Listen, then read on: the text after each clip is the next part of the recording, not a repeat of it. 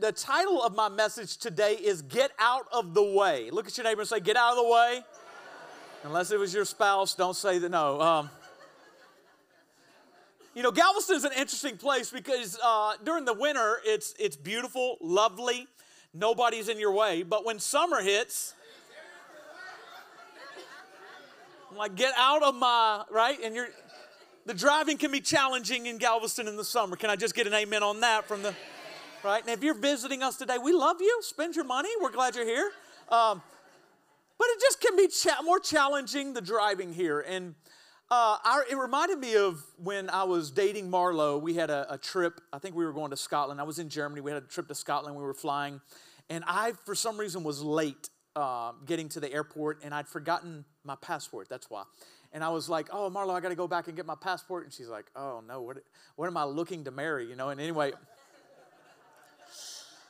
we got my passport, and so we have to go very quickly. In fact, I was driving, I found out my Pontiac Grand Am had a governor that at 100 miles an hour, it, it went down. And I'm not a sinner. We were on the Autobahn, it was legal. Uh, but it's crazy on the Autobahn when you got up to a car, they there was a culture, they always moved over. Like you never had any issues, and people were even passing me at 100.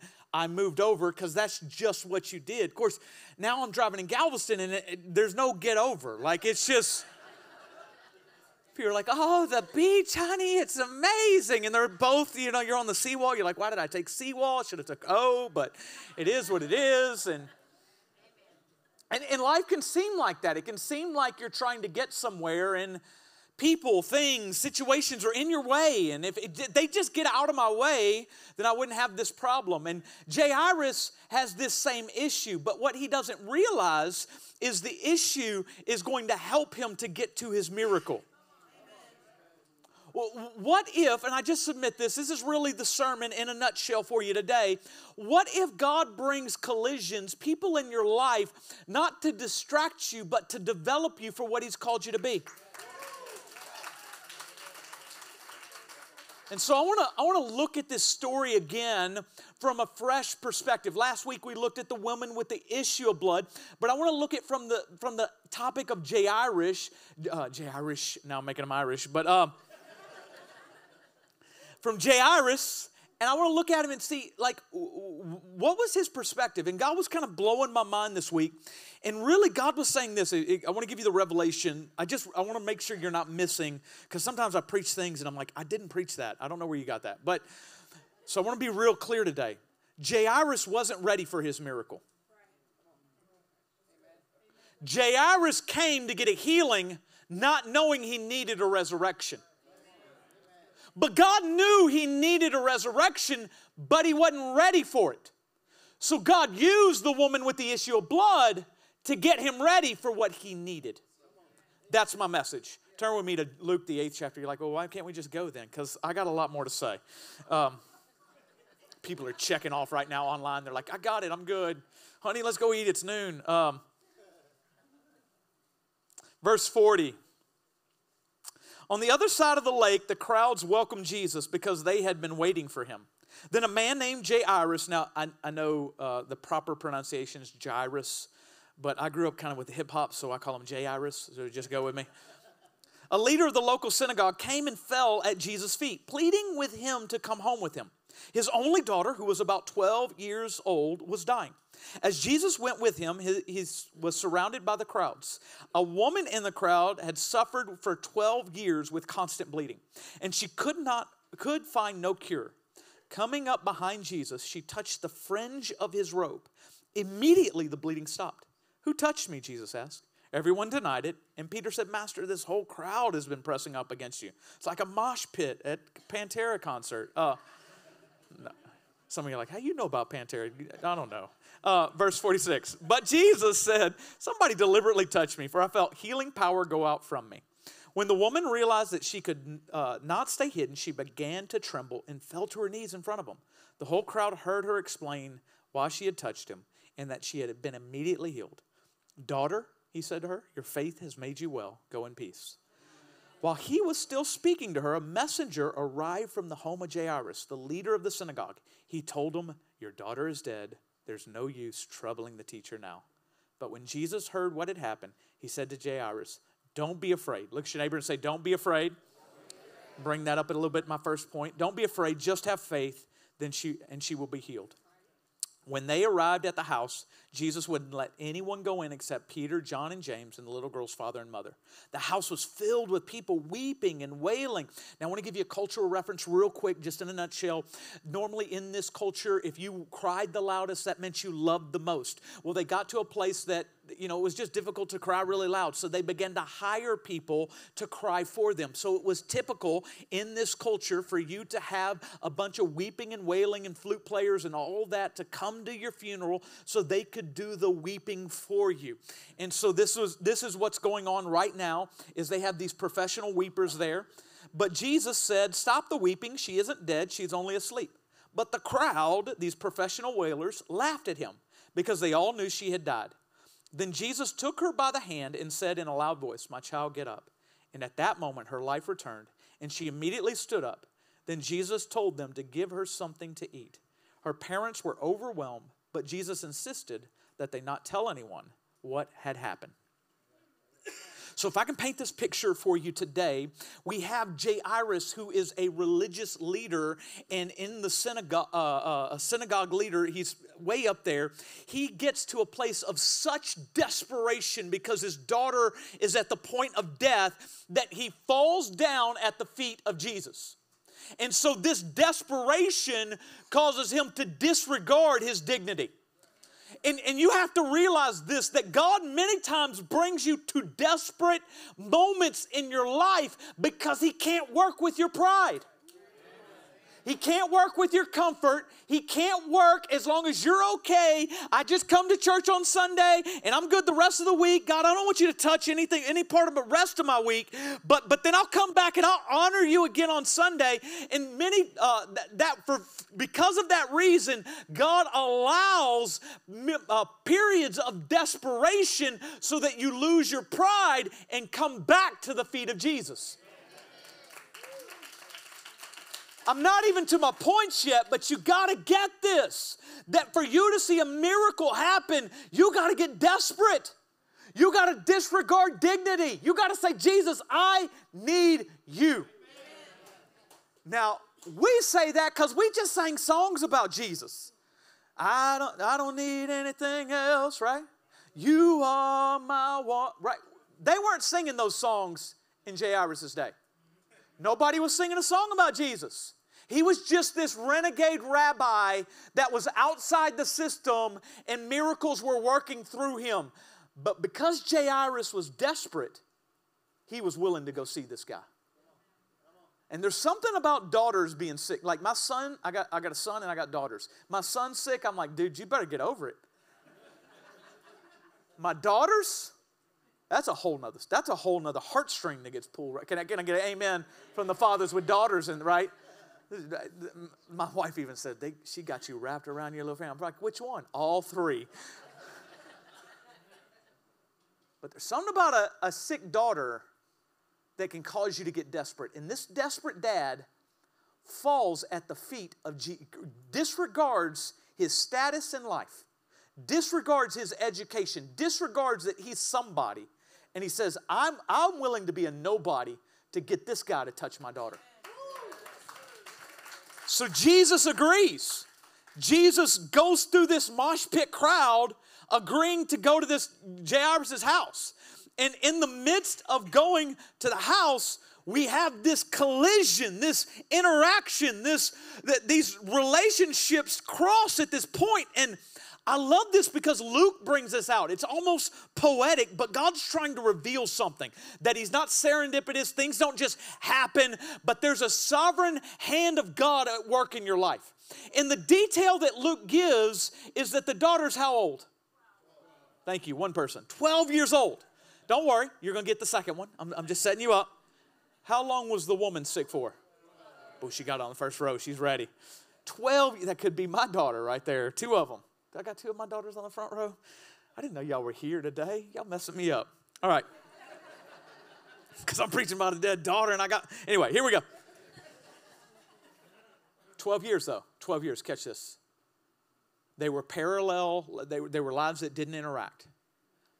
And in 12 years, they're going in different directions. The woman who started with prominence because of her sickness has given every dime she had to doctors, and it's causing her to, to be a nobody, to have no income, to be in poverty, right? And, and not only is that, but she's also ceremonially unclean. Leviticus 15, the requirements of the law in her society is that anywhere she goes, she says, I'm unclean, I'm unclean, so that nobody gets around her. So she's had no touch, she's outside of relationships, she's on the fringe of society. The, the girl, on the other hand, is she was born. She just started off in life and she's beginning to reach her dreams and hopes. And at 12 years old in jewish culture you were becoming a woman. Like that was that was the moment of peak in dreams and destinies being released. And she's not a nobody. I mean she's born in a prominent family. So there's there's a whole life ahead of her but it's starting to be cut off. And this collision of their lives come together for a reason. And here's the reason Jairus thinks he needs a healing, but he really needs a miracle. And his mind frame, his mind frame can't reach it until he goes through the collision. This is powerful because many times we are looking at people and we're saying, Get out of my way, when God put them in your way so you could reach your destiny. And, and we keep yelling, you know, we're at Walmart, get out of my way, right? Tourists, get out of my way, right? And God's like, it's the thinking. It's the thinking that you have that needs to get out of the way. You catch that? And so I want to go through three things that I think Jairus needs corrected in his thinking before he can ever step in his miracle. The first thing is he has to understand that God is not limited. Come on, I should get an amen from Bible Belt Christians. I'm, I'm supposed to get an amen and say, hold up a second. But y'all didn't even give me an amen. I can't even do my second part of that sermon, right? So God is not limited. There's no limits to God. Most people would not, head nod with me, but yet we live this life as though life is limited. Uh, uh, economic, uh, economics, economic, I don't know, I can't even say the word right now. People that study economics, economists, Help me, Jesus. I'm getting humbled right here. Just fall at the feet of Jesus. Uh, they take this principle called the scarcity principle. And it's this idea that resources are limited that there's only so many and that demand or when the demand is greater than the resource there's this scarcity presented. And so we live this life with you better get your own. You better get your piece whatever whatever you need. And so for us to be able to excel in life sometimes we got to step on people. We don't say it like that but we got to step on people or over people or we got to do better than our neighbor does. There's no way that because i'm in a competition if i don't do better than them i won't get what uh, you know god's designed it for my life. I, I, that's the only way I can get it. But I got to I got to do it of my own strength, and I got to live in a place of subtraction so that I can grow in addition. I I take from you so that I can grow. And the problem with that mentality is it's not kingdom mentality, it's worldly mentality. James describes it like this in James, the third chapter, verse 14. But if you are bitterly jealous and there is selfish ambition in your heart, don't cover it up, uh, cover up the truth with boasting and lying. For jealousy and selfishness are not God's kind of wisdom. So it is a wisdom, but it's not God's kind of wisdom. Such things are earthly, unspiritual, and demonic. For wherever there is jealousy and selfish ambition, there you will find disorder and every uh, and, and and evil of every kind. I want to say every evil word because that's New King James. So in this in this space we're trying to get our own. And if we don't operate with kingdom we can't we can't live in a place of him being limitless because we're limited. Jairus has this same test. Because if you notice they're walking to the house all of a sudden jesus stops. When he stops he says well somebody touch me. Peter says come on everybody's touching you and then he says this power has left me. What do you think the thought process of Jairus' mind is right now? He doesn't see him as God right now, just renegade rabbi with some healing power. What'd you say? Power left you? I needed that.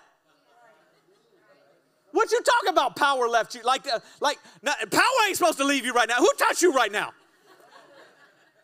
Because I need this power for my daughter. What do you got? to Go back up to the mountain again and go get it with the Father? Like, like how are you gonna get this power again? Like I, and, and who took it? Don't we do the same? We roll up in the church. We've been believing for like like 15 years and somebody rolls in last week and they got the sciatic nerve and you like god what i'm 15 years of sciatic nerve and this dude gets it like the first week i saw his facebook page. He's still a sinner. Or insta whatever you do. Like like we do that. And what are we saying when we do that? God you're really limited. We're saying, I need to get mine. Yeah, God has great promises out, but I got to get my power. And if somebody comes in and takes what we think is ours, and we don't have a hand that's generous, we actually get what we believe.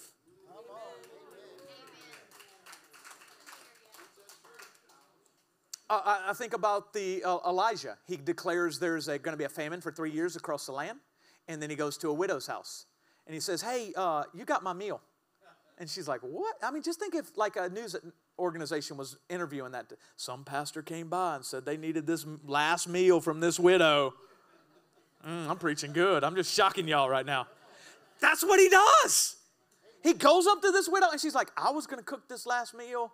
Me and my son were going to eat it and just die. I mean, that's how bad it was. And he says, No, give it to me. She does and she never suffers lack again. Because what was she doing to step into her miracle? She was having an open hand. And until you believe that God is limitless, that, he's, that, he, that there's nothing that can contain him, that you'll, you'll believe that, man, I got to get my own, but you're operating with the wrong wisdom. We, we see this with society. Like even science is proving this out. Like eh, we've heard for 50 years, maybe even 80 years, that we're we're gonna overpopulate the earth. Like Bill Gates and Thanos are like they've been telling us this for years. Right? Because there's only so many resources, but what we find out is that technology keeps pushing us forward that we're able to do more with less that that and, and, i say technology what if i give you the spiritual world word god's pouring out revelation and information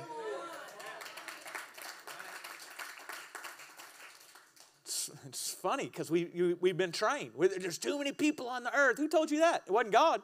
God said, be fruitful and what? But you decided to listen to Bill Gates. I say his name, YouTube cuts it out. That's what's crazy. That's why I'm saying it twice, just to see if they do it this time.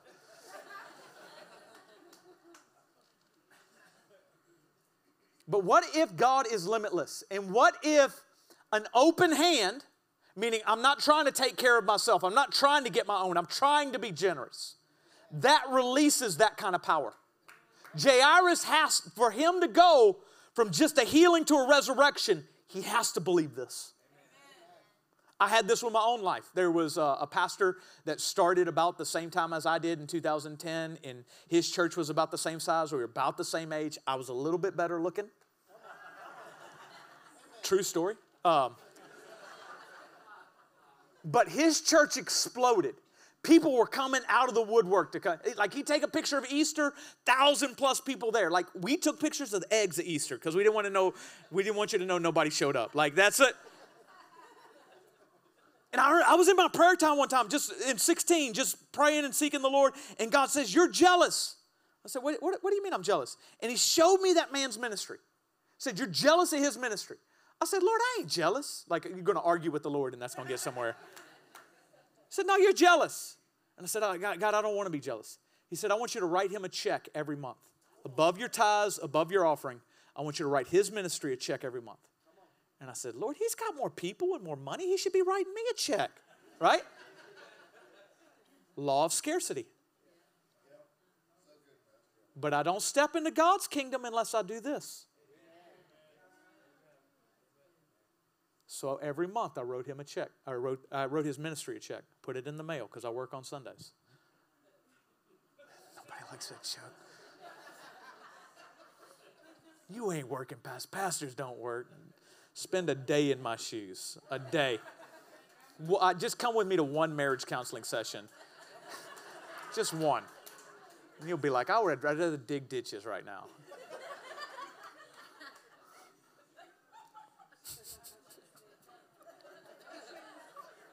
I could say so much more, but I'm not. All right.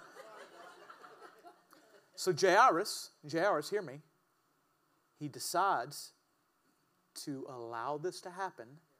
This now steps into the second point I want you to get is that God uses delay. God uses delay. Typically, when we pray about something, if it doesn't happen in whatever timetable that we've set for God, then we take it as a denial. And really, the delay is about development. What God is trying to say when He, brother, I am so glad you were here today. It's been so long. Y'all mind if I just take a time? I want to pray for you. I've been praying and thinking about you, Father. I just thank you right now in Jesus' name. I thank you for your healing power working throughout his body. Father, I thank you that he was a minister of the gospel. Body, I speak to you and command you to be whole right now. In Jesus' name I pray. We thank you. In Jesus' name I pray. Amen. God uses delay, and the delay is about your development. We see this with Jairus. What do I mean by Jairus? He is in a desperate moment, and time is of the essence. I need you to get to my daughter. She's about to die. And when the delay happens, I don't know if it was 15 minutes, 30 minutes, we just roll over it in the scriptures. We don't think much about it. But it says she stopped, she had to come forward, she explained her story. We're there for a bit of time. And in the midst of this stoppage, this delay, Jairus gets news. She's not sick anymore, she's dead. So the delay caused the death. You ever been in a place where you were praying about something and it went from bad to worse? And you were like, God, where were you? And many of us take that, we interpret it as God wasn't there, or God didn't want to answer it, or God's not into it. But what if He was really just trying to develop something? What if the delay is intentional, like He did with Lazarus, right? He whom you love is sick. And it says in the scriptures, He loved him so much, He waited three days. Why is that? Because God's way more concerned with your faith than your comfort. That's what James writes. James writes this in the first chapter, the second verse. Dear brothers and sisters, when troubles of any kind come your way, consider it an opportunity. This is a test for great joy. For you know that when your faith is tested, your endurance has a chance to grow. So let it grow. For when your endurance is fully developed, you will be perfect and complete, needing nothing. So Jairus thinks he needs a healing, but God knows he needs a resurrection. And God has to bring a series of mental changes in his understanding. One of those is a delay. Can you trust me when I don't do it on your timetable? Can you allow this woman to get my power and healing before you get the power and healing? Because God, uh, let me say it like this I, I taught the sermon. Usually I teach it to my kids before I preach it, but I, I did it to the middle schoolers. There's a couple of middle schoolers in the Fellowship Hall before the nine. So I said, hey, let me give you my sermon. And I got to this point, and I said, what's your favorite toy? And one of them told me it was like a, a gaming console, like Xbox or something like that. Another told me uh, I want to call it figurines, but it, it was a guy, so it, collectibles. It was collectibles. And, uh, and I said this if I gave you those toys when you were two years old, what would have happened? they said, I would have destroyed them. And what if God wants to bring you to your miracle, but your character's not developed yet to maintain it, to steward over it? For my own life, I was engaged in 2006. I was about to be married, and that engagement got broken off. And I, I, I, got into great grief. I was struggling. And God came to me in my prayer time when I was like, God, what? I thought you promised me a wife. What's going on? God came to me in my prayer time and said, You're not ready to be married. And then He took His Holy Ghost flashlight and, and poured it on my life to the area of sin that I'd covered up. And I was like, oh no, I just that that's okay. I can I can take that into my relationship. And God's like, you need to deal with that or you'll mess up your marriage.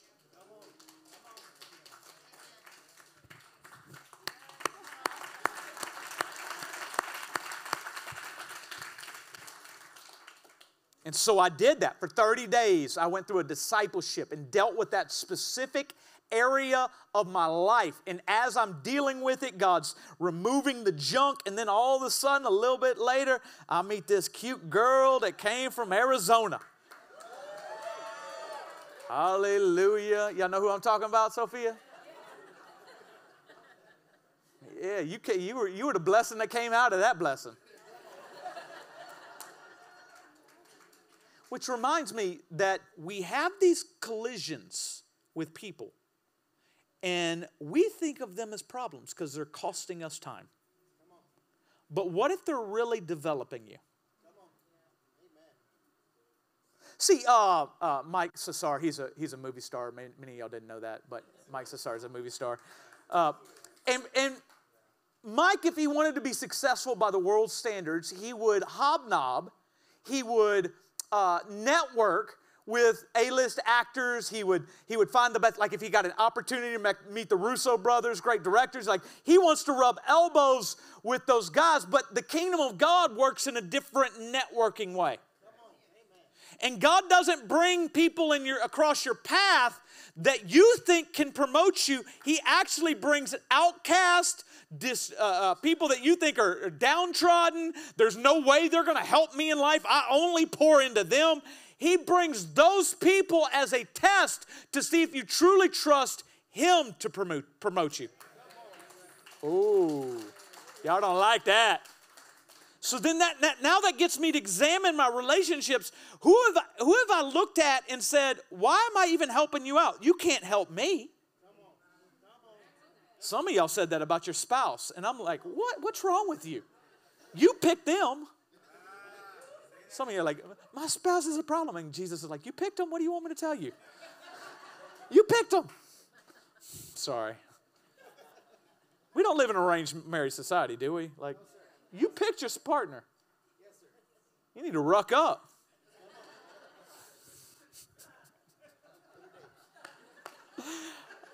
Marlo's going to get text on that one. So, uh. all right. C- catch this though that Jesus is all about bringing people, bringing people in your life that you think you're just pouring into so that it develops you for the promotion that He's called you to. He says this in a parable, right? He says, when you have a party, I want you to invite people that can't invite you back. I want you to invite the, the, the people that are homeless and outcasts. Like, that's the people I want you to be friends with. You're like, what, Jesus, what about the, I want to, I want to, Russo brothers, God, I'm a movie star. Right? He's like, no. Uh, the writer of Hebrews says that we entertain angels unaware. It's, it's when you say, This person that came across my path, there's a reason for it. And it's not to delay me, it's to develop me. Y'all got me? Some of y'all are ready for the third point. I don't blame you, I am too. All right, this is my third time to preach this today. Last thing, you have to have a mentality for a miracle that gets God outside of the box. The only person that should be in your box is Jack when you go out to eat. Um, dad jokes for days. All right. Uh, clear understanding that God does the miraculous And many times he stretches your understanding of him so that he can do it. We have this with Jairus because the woman with the issue of blood, she's actually breaking Levitical code to be out there. Leviticus, the 15th chapter, we talked about it last week. She's supposed to yell out when she's out in public, unclean, loud, bold. She's not supposed to be around anybody, quarantine. When she gets close, I'm unclean. She definitely can't touch somebody. And she goes past that Levitical Mosaic law given by God and she touches Jesus. When she touches Jesus, who's the highest authority there to enforce that standard? Jairus. Yet he stays silent. Now, him staying silent is very important because in this collision, if he brings condemnation instead of compassion, he won't be able to step into his miracle. You say, why is that? Because remember, the daughter, I ain't done yet. It's going to be good. Just give me a second. You're like, come on, Pastor, you would tell us to clap all the time. I'm clapping. Now, this is, when I studied, this blew my mind. This blew my mind. Leviticus 15 says she's not supposed to touch. She touches, Jairus stays silent. Well, his miracle, his miracle goes from healing to resurrection. Well, the only problem with resurrection is Leviticus 21 says a priest or a rabbi can't touch the dead unless they're immediate family. So if he brings condemnation, he already denies himself the miraculous happening with his daughter. Because Jesus can't go in and touch them. So God, through his silence, stretches his theological understanding of who Jesus is beyond being a rabbi, bigger than the law, because he came to fulfill it, but not just fulfill it, also turn those things that are unclean clean. Which he sees with the woman of Jairus. And so when Leviticus 21 comes up in his mind, because it definitely came up, he's not somebody that was like, I wonder what the scripture says. He knew. He knew he could go past Jesus being unclean because he was going to bring resurrection. Ooh. But yet, if he brings judgment, then he denies himself the miracle. Now, I know some of you are like, oh, big deal. Why is that even important? Apply that to your life then. How many times have you denied yourself the miracle because you brought judgment instead of mercy? Oh, Jesus. That's why James, the second chapter, I just give you a verse. Verse 12 says this So whatever you say and whatever you do, remember that you will be judged by the law that sets you free. There will be no mercy for those who have uh, not shown mercy to others. But if you have been merciful, God will be merciful when He judges you. I love the New King James when it finishes it off. It says, uh, Mercy triumphs over judgment. So you gotta you gotta catch this, my friends, that mercy triumphs over judgment. And God is stretching Jairus's legal box to show him that Jesus is not just a healing rabbi, but he is the resurrection.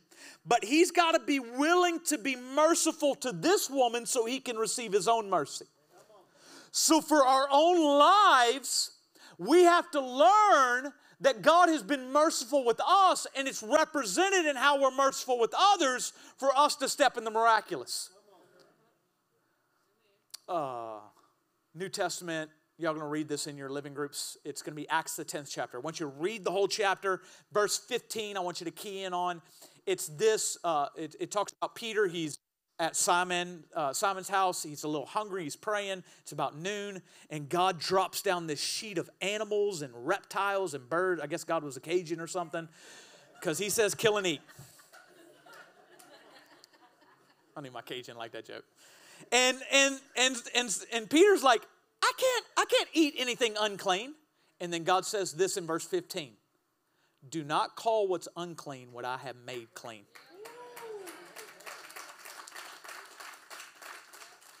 And here's where the miraculous has hurt the church. Let me tell you where it's hurt the church. We've kept declaring something unclean that God has made clean. And usually it's within our own soul. I didn't read it in, in Mark, the fifth chapter. It's very interesting because Jesus comes in, he says the girl's not dead, she's sleeping. They laugh at him, just like Luke points it out. But in Mark's gospel, he says they kicked them all out. And see, for you to walk in the miraculous, you got to kick out that wrong thinking that keeps declaring you as unclean if God has made you clean. Oh, I'm about to preach right now. See, because we've developed generations of churches that just run around saying, I'm a sinner saved by grace. You say, well, what's wrong with that? I, I got that we were sinners, I got that we needed salvation. But here's my problem when I said yes to Jesus, what happened to me? Was I cleaned or not clean?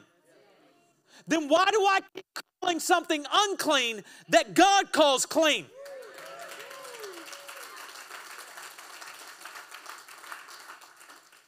And until the, the only way that you walk in the miraculous path, because I hear so many people, we need holiness, we need repentance if we're going to have revival. No, we need a revelation of righteousness.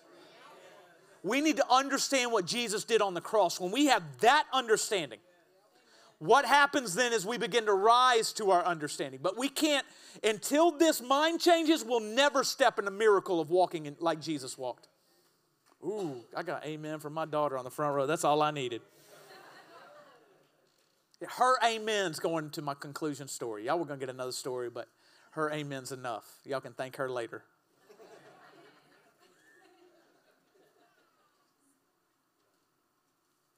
No, uh, sorry, Sophie. I got one more statement and then I will go on but we have built churches that have declared people unclean even after they have given their hearts to the Lord.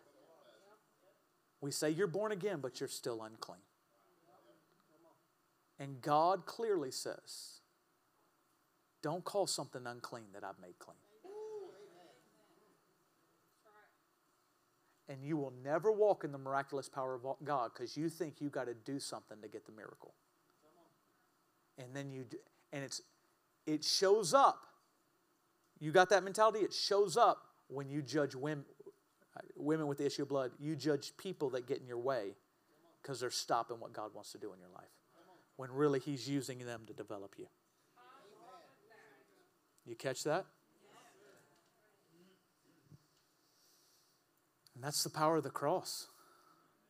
That's how God changes how you're thinking so that you can walk in your miracle. 1230 i'm like do i want to close with a story or we just get out of here? What are y'all thinking? Come on just a little bit more. That's only like 30 of you. There's a hundred of y'all here right now amen come on so um, why this is powerful is because i have seen in my own life God stretch my theological box. Where I know my mom would call me and she would tell me, she's been my spiritual mother. She'd call me, that's Mimi. She'd call me and she'd say, You know, God's working a revival in these meetings, and they see gold dust appearing. And I was like, Now, I didn't tell her this because I love my mama and I ain't trying to get smacked upside the head even across the phone. But I say that doesn't happen. Like, where do you get that in the Bible? Like, that's just strange. That like it. I had no framework theologically for it, so I just wrote it off. Like my mom's just a nut. She just follows those nutty people, right? Until it happened to me. And in 2016, I began to seek the Lord, and I get hooked up with Todd White's ministry. 2017, in January, I head to the Dominican Republic and we start praying for people, see God working in miraculous ways. And then I'm at Chili's with a group. Todd's not even there, it's just the group of people. We're at Chili's. And the guy next to me starts having gold dust appear on him. And I'm like, what is this, Jesus? Like, this, you know, this can't happen, right? Where's the scripture and verse? And and we were having a great time in the Lord. Like you would have thought we had margaritas at the table. We were just so like just water, but we were just having such fun in the Lord. I, I remember going to the bathroom and I was just like so like blitzed in the Lord. And I was like, this is awesome. And I used the restroom and then I went to wash my hands and I saw like a gold dust on my hands. Like, I, I can't wash my hands now. I washed them, but I was like, I can't. And so God blew my mind and He didn't stop there. 2017, two weeks later from that trip, Dan Mohler, who pastored Todd White, comes to our church. It's a miracle he came. It was, it was a God moment. And he's there, and we're not as big as we were. There was a kind of an aisle in the middle, and it was only one service, and he'd preach the whole weekend. Well, that's Sunday, and I'm sitting right where you're at. And he begins to preach, and there's gold dust all around his lips. And I'm like, what? I want to stop the service. I'm like rubbing my eyes. I'm like, does anybody else see this? Like, we got to test. Like, let me scrape his lip, get it tested, sell it for some cash, you know?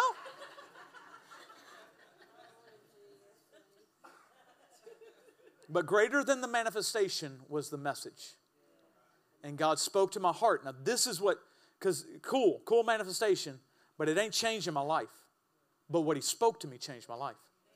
And He said this to me He said, I'm blessing this gospel. And when He said that, I said, What? And so I stole every message Dan Mohler preached. Like, ripped. In fact, when he came in 2022, I was like, uh, Dan, I've been, I've been stealing your messages. I'm just saying. He's like, It's cool, brother. I got it from Jesus. And, uh, but as I began to preach that identity, that healing, that revelation of righteousness, our church began to grow.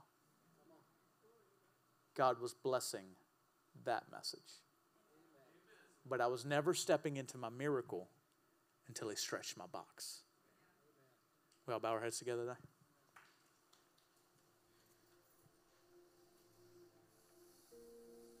You know, I never want to close a service without giving you an opportunity to know Jesus.